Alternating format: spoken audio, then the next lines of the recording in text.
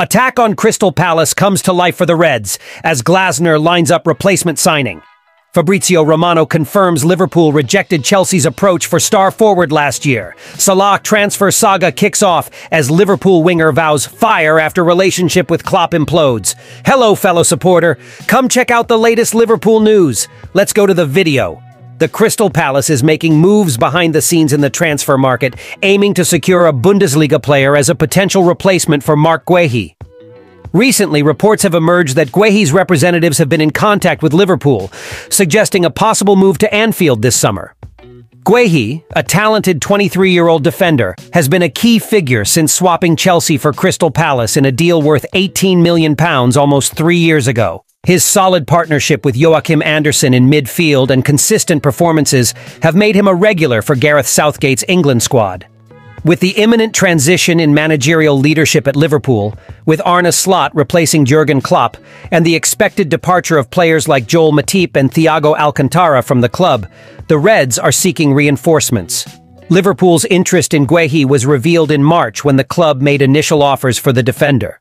Alongside Liverpool, other Premier League giants like Arsenal, Tottenham and Chelsea have also expressed admiration for Guehi's talent. However, Crystal Palace is aware of Guehi's value and has set an initial price of around £50 million for the player.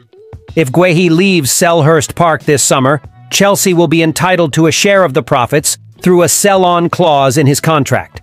The exact percentage of this clause is still unclear, with reports suggesting figures between 20% and 25%. Faced with the possibility of losing Guehi, Crystal Palace is preparing for a potential departure and is already exploring replacement options. According to reports from The Telegraph, manager Oliver Glasner is interested in Maxence Lacroix from Wolfsburg as a possible replacement. If Palace proceeds with Lacroix's signing, it would be a strong indication that Guehi is indeed leaving the club. Thus, Liverpool continues its search for a replacement for Matip, expected to be one of the biggest free agent signings in Premier League history. My fellow supporter, are you in favor of Marc Guehi's signing? Recent reports indicate that Chelsea was interested in Liverpool's forward, Darwin Nunez, last summer. But their attempt was thwarted due to Jurgen Klopp's reluctance to part ways with the former Benfica star. Fabrizio Romano clarified this development, revealing Chelsea's interest in Nunez during a conversation with Give Me Sport.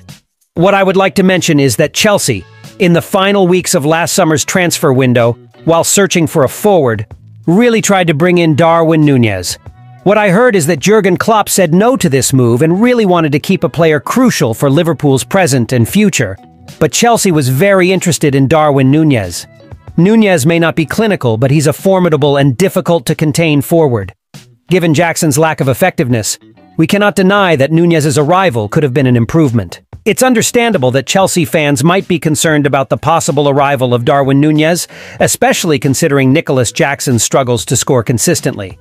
Adding another forward with a similar track record could indeed exacerbate the team's scoring problems. Given Nunez's perceived deficiencies in finishing and the risk of replicating Jackson's disappointing performances, it's clear that Chelsea will need to adopt a different approach in their recruitment process for the next season. Finding a forward who not only has a killer instinct, but also complements the team's playing style and has a strong presence in the area will be crucial for the progress of the Blues. Toney's arrival could inject a new level of power into Chelsea's attacking line and help strengthen their pursuit of success next season. Nunez may have more potential, but Toney has demonstrated a more consistent performance. To maintain any serious hope of overtaking Arsenal and Manchester City, Liverpool needed to defeat West Ham on Saturday afternoon. As usual, the Reds fell behind before rallying to take a 2-1 lead. However, Liverpool couldn't hold on to the advantage, and thanks to Michael Antonio, the Hammers equalized in the dying moments of the second half. With two more points dropped, Liverpool's chances of clinching the title virtually disappeared. Salah was named alongside Darwin Nunez on the substitutes bench for the match. Both had faced harsh criticism in recent weeks for their poor finishing. Jamie Carragher, a Reds legend, even suggested that Liverpool could and perhaps should sell both forwards to start Arne Slot's era from scratch. Salah and Nunez were brought on from the bench with about 10 minutes left in regular time. Liverpool still held the lead at the time, although Antonio had headed the equalizer before the substitutions were made. Cameras from TNT Sports captured a confrontation between Klopp and Salah on the sidelines before the winger entered the game. While Salah awaited a break in play to be substituted, Klopp approached him and had a conversation with the Egyptian. Salah clearly didn't like Klopp's words, and the two engaged in a heated argument that resulted in Nunez ushering Salah off the field. When asked about the incident after the match, Klopp tried to downplay concerns about a fractured relationship. Asked if he would reveal what was said, Klopp replied, No, but we've already talked in the dressing room. For me, it's done. Asked if Salah also thought the matter was resolved, he added, That was my impression, yes. However, Salah seemed to have a different view of the events regarding his agent and was later seen walking through the mixed zone after the game, where he refused to stop for an interview. Passing by the gathered journalists, Salah declared, There will be fire today if I speak. When a journalist responded, Fire? Salah replied, Of course. Salah will turn 32 this summer, and his current contract with the Reds has only one year remaining. Liverpool rejected a £150 million offer from Al Ittihad last summer, but the interest persists. If Salah doesn't renew, a sale this summer could be sensible, despite yielding less than what was offered before. At 32 years old with one year left on his contract, £70 million would still represent a good deal.